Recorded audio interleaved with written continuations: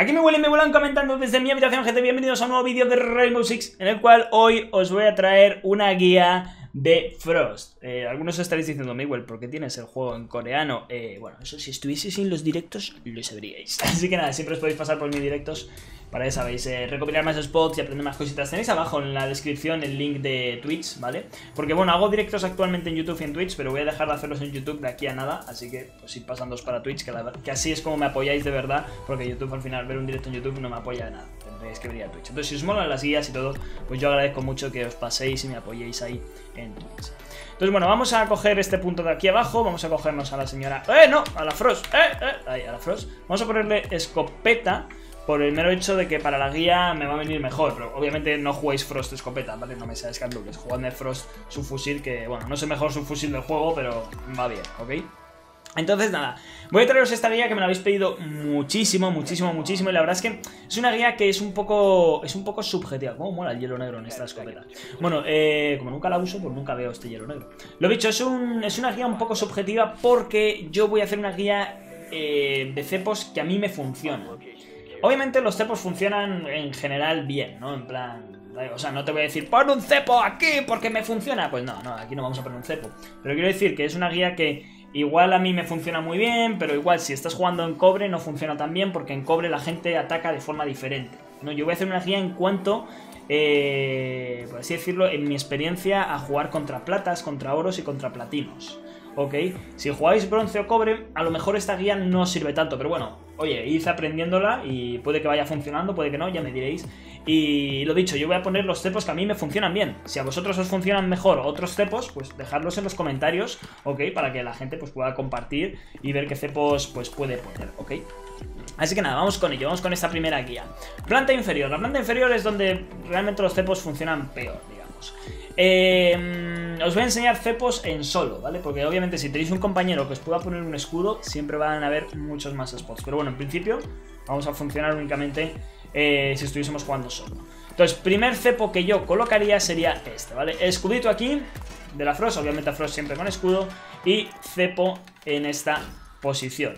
Una vez colocado ahí el cepo, ya nos quedarían los otros dos. Los otros dos, eh, a ver, si tuviésemos algún compañero con escudo, yo colocaría otro aquí con escudo. Pero bueno, yo, ya os digo, como no vamos a tener compañero con escudo, vamos a colocar el siguiente cepo, que personalmente yo lo colocaría así, ¿vale? Habría que conectar aquí más o menos eh, mitad, ¿vale? No entero. Entonces nada, conectáis aquí la mitad. Yo os digo, esto, este, este, este estos cepos funcionan muy bien, ¿eh? estos que os voy a enseñar. Y aquí abajo ya os digo que van de lujo. Entonces nada, conectamos aquí, yo estoy con la escopeta, pero bueno, le decís a un compañero, eh, conecta así, para que se pueda como saltar. Y una vez que hayáis conectado así, colocáis un cepo aquí, ¿ok? Y el otro cepo, yo personalmente lo colocaría al otro lado. Ok, aquí abajo es que los cepos ya os digo que funcionan un poco extraño porque si pusean los van a ver. Entonces, si ellos atacan por aquí, obviamente este cepo lo van a ver, pero cuando asomen por aquí intenten rotar, se van a comer este 100%. Ya os digo, estos cepos funcionan súper bien. Son los mejores por así decirlo, ángulos de cepos, ¿no? El colocarlos en una pared que esté rota.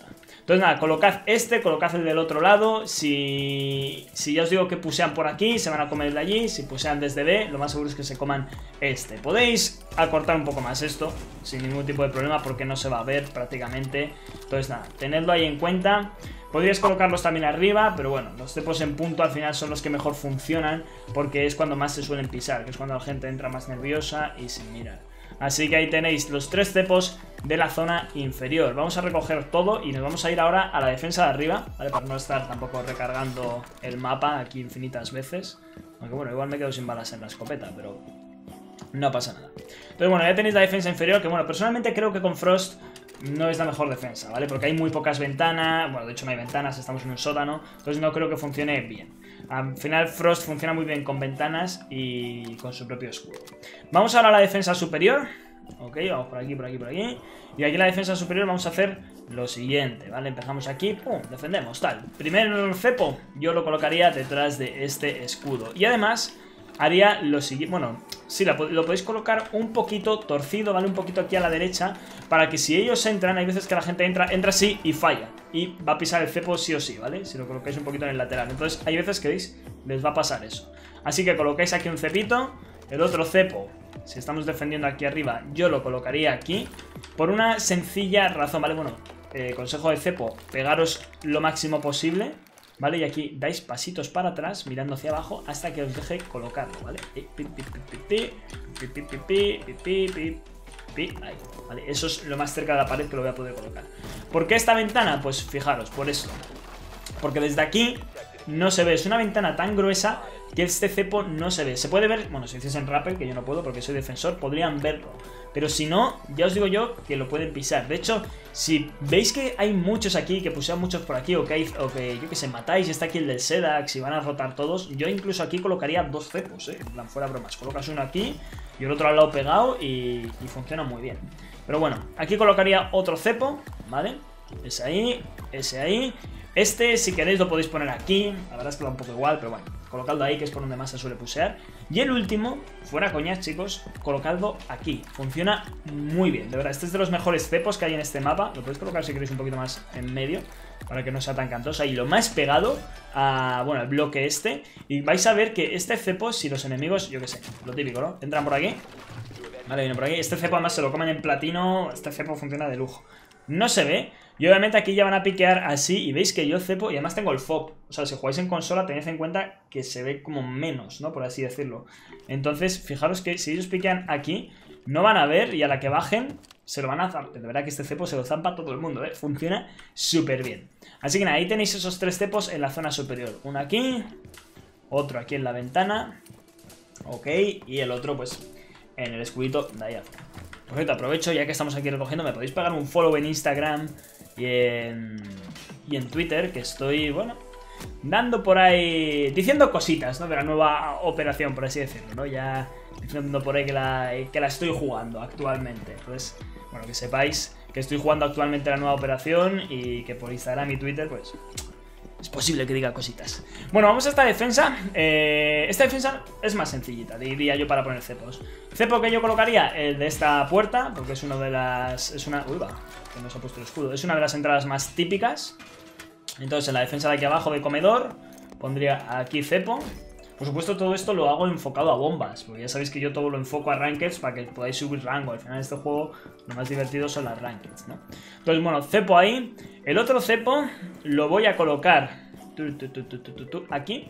Parece una tontería, ¿eh? Pero aquí entran muchas veces. De hecho, aquí podéis poner incluso un doble cepo. Pero bueno, la única pegada de este cepo es que si entran por esta zona, pues lo más seguro es que lo vean y lo rompan. Pero bueno, pegarlo así un poquito a la izquierda para que se vea poco. El otro cepo ahí.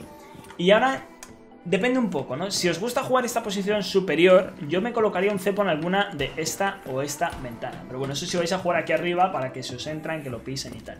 ¿Que no vais a jugar aquí arriba? Pues yo personalmente el tercer cepo lo colocaría aquí. el mapa este, hay veces que aún me lío, ¿eh? De verdad, de verdad os lo digo que hay veces que aún me lío. El tercer cepo yo personalmente lo colocaría aquí. Porque, bueno, aquí no, perdón. Uh, que me, voy. me he liado, que eso es en el Oregón viejo. El tercer cepo, perdón, yo lo pondría aquí. Porque esto también suele ser una de las entradas más típicas. Y la gente no se espera que haya un cepo en una de las entradas principales, ¿ok? Entonces, cepito ahí y cepitos allí. Y durante el principio de la ronda, porque este cepo si lo pisan es al inicio de la ronda, yo jugaría por aquí. Me quedaría por aquí, pim pam, pim pam. Y de pronto, oye, ¡zap! Lo más seguro es que hayan pisado aquí. Es posible que pisen el otro, pero el otro es que si alguien cae en un cepo es delicado. Oye, alguien se está suscribiendo al canal. No sé por qué suena la música si lo tengo apagado, pero bueno. Muchas gracias a que se haya suscrito al canal. Bueno, suena ahí la musiquita. Vamos a recoger cepos. Lo dicho, si alguien cae en este cepo es complicado que le reanimen porque se quedarían muy expuestos. Vale, escudito por aquí. Cepito por acá. Opa, conmigo. Y vamos a por el último. Y bueno, el último realmente no lo vamos a recoger porque lo vamos a colocar para la siguiente defensa, ¿vale? Última defensa, eh, obviamente esta sala y cocina, de nuevo. Entonces, ¿dónde vamos a colocar cepos? Pues uno ahí, que ese ya lo dejamos puesto. El segundo cepo, yo personalmente lo colocaría aquí, ¿vale? Aquí pegadito.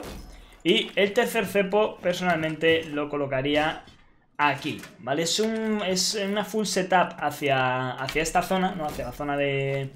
Eh, saldrá de capilla, pero bueno, sí, capilla o capilla. Llamémoslo capilla. Y bueno, ya jugaría por esta zona, ¿no? Si pisan cepo vais a saber que es ese, el primero, y luego lo más seguro es que pisen este u este. ¿Qué pasa si abren aquí con Termite? Pues obviamente que este cepo lo van a, lo van a volar, pero este pasa lo mismo que con el de arriba, que apenas se ve. Entonces, a la que bajen, mueren. Obviamente, reforzar esta trampilla para que no puedan pusear. Y ya lo tendréis hecho. ¿Que queréis enfocar un poquito la defensa más abierta? Podéis cambiar este cepo de sitio y os lo podéis llevar o bien aquí, que también es uno de los pushes típicos, o bien os lo podéis llevar aquí, ¿vale? Que también es una de las entradas típicas. Al final, el cepo con escudo, porque siempre, si os fijáis, siempre he colocado en todas las defensas un cepo con escudo. En todas, en todas he puesto un cepo con escudo. El cepo con escudo lo podéis llevar a donde queráis, realmente, que, obviamente sea una puerta de una entrada, no, de, no una puerta doble. ¿Ok? Y siempre os va a funcionar. Incluso si queréis jugar más en punto, como esto lo vais a conectar también, podéis hacer otra vez lo mismo.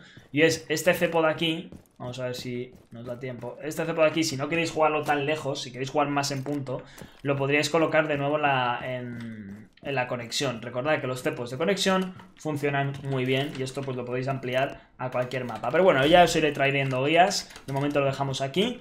Esto puede ser que entren por aquí disparando y hagan ¡ay, ay, ay! Y lo pisen, ¿vale? Entonces, bueno, tened en cuenta que los cepos de conexión de puntos funcionan bastante bien. Así que nada, esta es la guía de cepos en Oregón. Espero que os haya gustado bastante. Es una guía sencillita, pero yo creo que, bueno, va bastante bien. Nos vemos mañana con otro vídeo, muchachos. Un saludo y chao, chao.